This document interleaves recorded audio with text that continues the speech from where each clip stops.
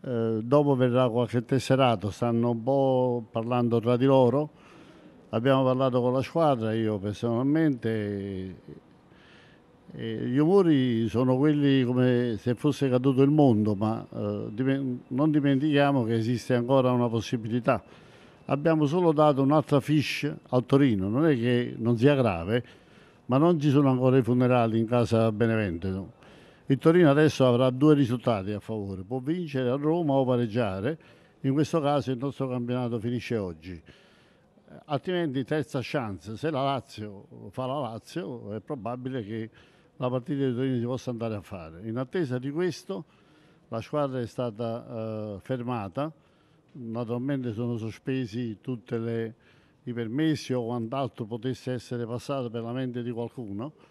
Non si parte di tiro domani mattina perché non sappiamo nemmeno se dobbiamo andare a Torino, quindi aspetteremo il risultato di martedì pomeriggio, martedì sera, e nell'ipotesi debba essere disputata la partita con il Torino, il team manager Cilento sta già prenotando una località dove i volontari del pallone, così, stato, così, sono stati chiamati da me negli spogliatoi qualche minuto fa, cioè quelli che diranno che se la sentono di venire a giocare verranno a Torino a fare questa partita della vita.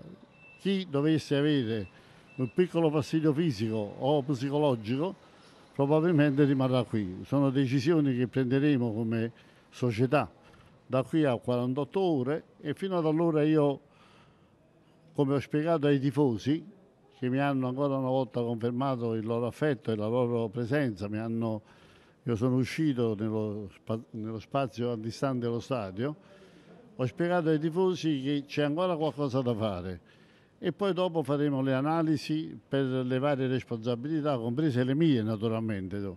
Ma fino ad allora, quando ore, ho chiesto ai tifosi di fare quello che dicono sempre a noi, di non mollare e di stare lì a sostenere la squadra la società e possibilmente anche il Presidente perché è il primo amareggiato, è il primo perdente in questo momento ed è anche quello sul quale si addensano le responsabilità di un campionato che continuo a sperare non sia ancora finito per noi.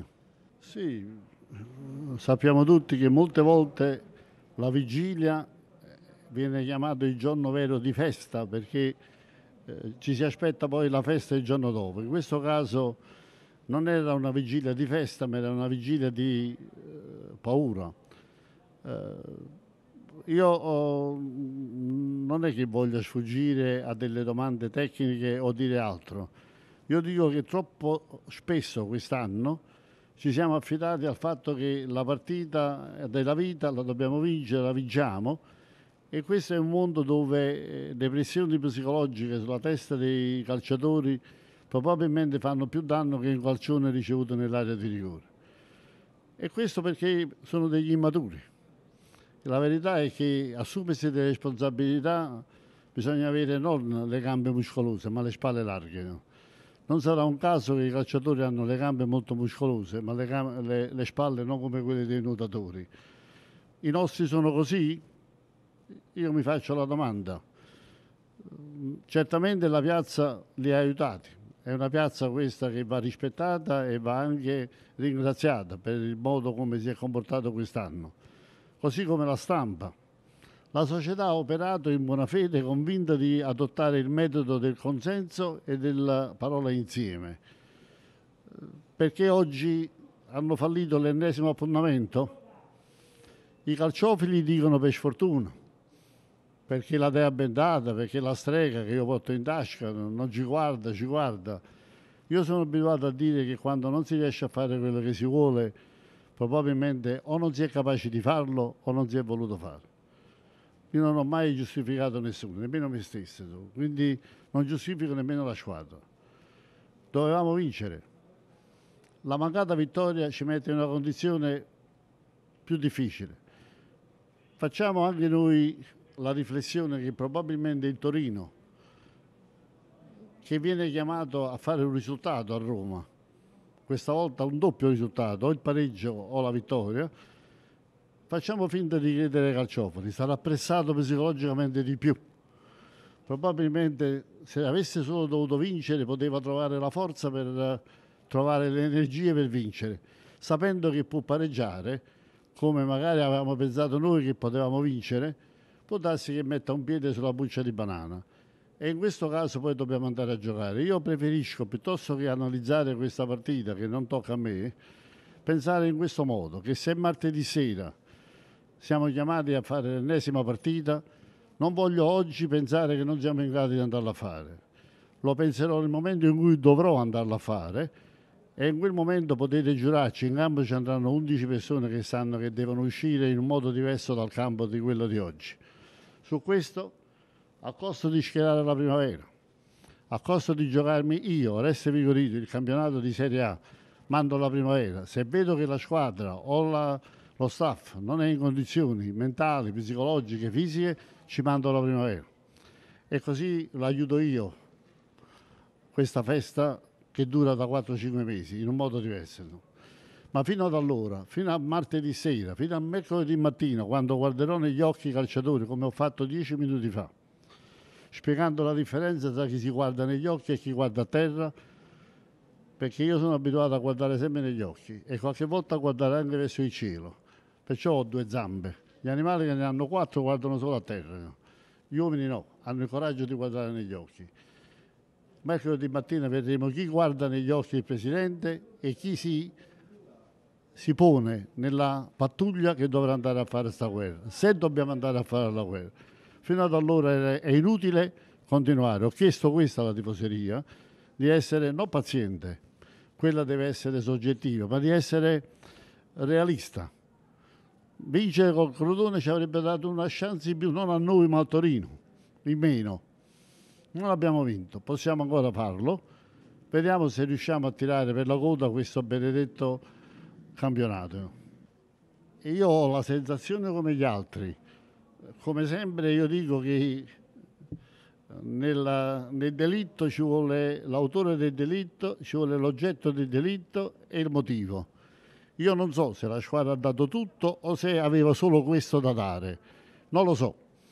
I test in settimana, quelli scientifici, quelli umani, eh, la coesione tra i calciatori, il rapporto tra allenatore e calciatori, il rapporto tra direttore sportivo, allenatore e calciatori, il rapporto tra il presidente, il direttore sportivo, l'allenatore e i calciatori, è un rapporto che merita prestazioni diverse a volte qualcuno scivola e noi pensiamo sempre che sia distratto, sbadato, sfortunato, a volte si scivola anche per l'incapacità di camminare.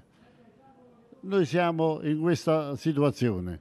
Tocca a chi ha guidato fino ad oggi la squadra, tocca a quelli che sorridevano quando si vinceva, oggi fare un'analisi e un esame per capire chi e se ci sono calciatori in grado di affrontare una partita così delicata. Io farò le mie eh, deduzioni quando mi diranno chi parte per Torino. Vedi Billy, il primo anno di Serie A io ho dovuto fare esperienza, non l'avevo. Poi mi sono fatto due anni di purgatorio e con quest'anno secondo di Serie A, quindicesimo della mia presidenza, posso dire che nuove esperienze non ne ho fatto. Questo è un mondo che cammina in questo modo. Non c'è più da fare esperienza. Per aver detto una frase del genere qualcuno ha capito che stavo per andare via. Io sono sicuro che la vita ti, fa, ti dà sempre nuove motivazioni, ma quest'anno più che esperienza io ho dovuto vivere un anno diverso da quello de, che si fa in un anno di calcio. Abbiamo vissuto un anno con il Covid, abbiamo vissuto un anno senza poter fare una preparazione adeguata, abbiamo vissuto un anno senza spettatori sugli spalti, che per il Benevento è una, una linfa vitale, perché i nostri spettatori sono la forza delle squadre provinciali. Abbiamo dovuto sopportare una serie di disagi di viaggio con orari notturni per recuperare partite, per finire prima degli europei. Queste non sono esperienze, sono condizioni che si sono create e che secondo me non si creeranno l'anno prossimo. Come andavano affrontate? Probabilmente in un modo diverso da come abbiamo pensato di affrontarle noi. Forse ci ha ingannato il girone di andata, dove sembrava che tutto filasse liscio. Forse ci ha ingannato il fatto di avere cinque mesi davanti e dover fare solo sette punti. Io avevo previsto una quota salvezza a 37 punti cinque mesi fa e io magari non so chi deve giocare a centravanti, ma con i numeri è difficile che mi sbaglino. Non lo so, queste non sono esperienze.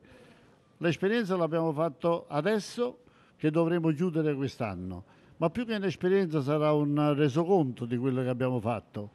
E io mi auguro in quel momento in cui dovrò fare un'analisi lucida di quello che è successo, mi auguro di avere la lucidità e la serenità per farla. A questo contribuirà l'ambiente, un ambiente probabilmente casato, eh, casato dalle prime vittorie, casato dai nomi di qualche protagonista, casato dalla presenza di un presidente come me. Però non dimentichiamo mai la realtà nella quale ci muoviamo, la nostra realtà e i nostri problemi. Noi siamo la squadra di una città non enorme, con un bacino non enorme, che tra l'altro ha dovuto giocare in condizioni particolari. Questo non è un alibi, è una ragione come quelle altre che ho detto. Alla fine tireremo le somme.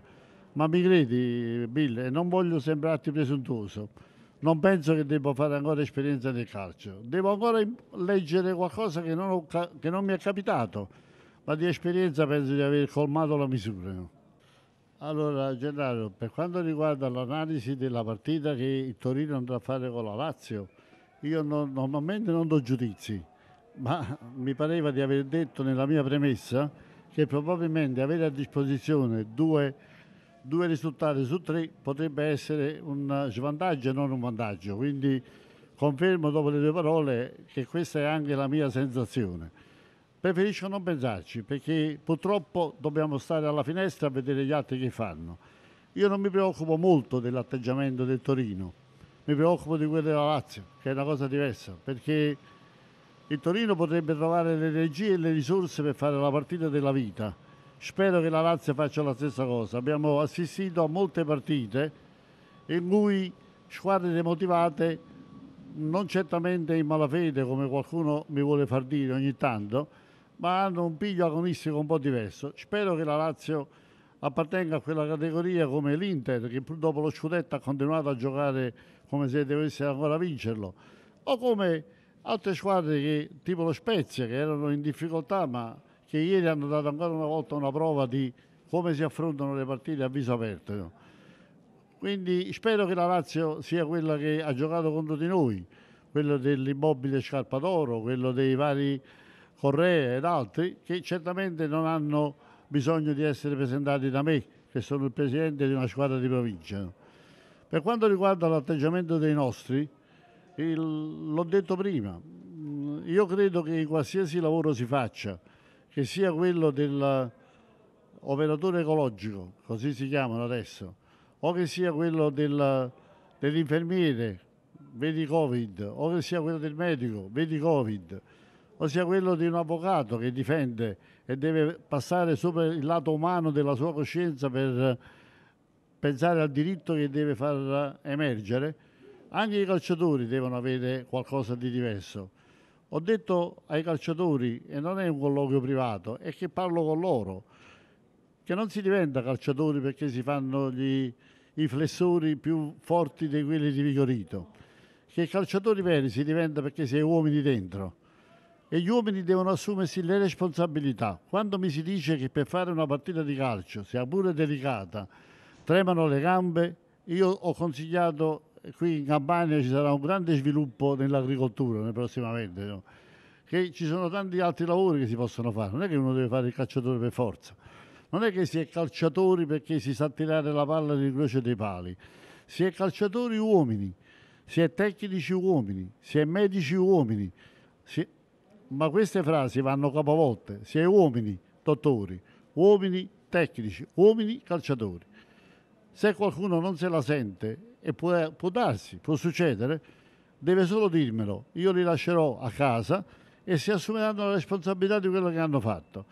Ma venire in gita e farmi pagare l'ennesimo aereo e l'ennesimo albergo per scendere in campo con la paura, a mia età, che nella vita ha avuto molte volte paura, ma poi ha avuto sempre il coraggio di riprendersi, non bisogna dirlo più.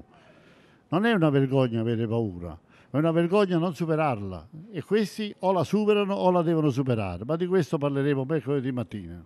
Io non sono mai uscito dal campo, ho solo abbassato la voce per evitare di fare confusione.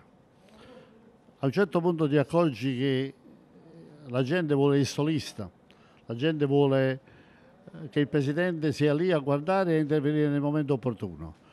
Io quest'anno non devo raccontare quello che ho fatto, quello che ho detto, perché almeno alla società non lo devo giustificare, visto che è la mia società. Ma la gente posso dire una cosa, che Vigorito non ha mai smesso di stare accanto al Benevento, nemmeno l'anno in cui non si vedeva fisicamente. Non ho smesso nemmeno quest'anno e ho le mie responsabilità, perché magari qualche situazione avrei potuto leggerla diversamente. Una cosa è certa, la domanda di prima, l'esperienza, l'esperienza, che anche quest'anno servirà per capire che posizione deve assumere il prossimo anno Vigorito. Io ho sempre detto, e lo sostengo ancora, che non c'è una persona che ha il, uh, il segreto delle vittorie nel calcio, che questo è sempre il risultato del lavoro di tutti. Io mi sono affidato a degli uomini che in due anni hanno fatto due anni, al di là del risultato di quest'anno, in cui c'è poco da rimproverare. Abbiamo vinto un anno da record e non è che si vincono i, i campionati di B facendo record. E abbiamo fatto un campionato di Serie A per cui all'ultima giornata siamo ancora in lotta per salvarci e nessuno ha mai dichiarato che avevamo fatto la squadra per andare a fare la Coppa dei Campioni. Quindi siamo ancora in corsa. Vuol dire che il modo con cui ho guidato questa società è un modo che ha portato a questo negli ultimi quattro anni. A, B, B, A con la lotta per la salvezza. Probabilmente sono molto vicino a gestire bene, ma tutti possiamo migliorarci ancora. Quello che posso rispondere a te e posso dire a tutta la piazza è che Vigorito rimane sempre fuori dal rettangolo di gioco, ma probabilmente avrà gli occhi più aperti di quanto li ha avuti quest'anno.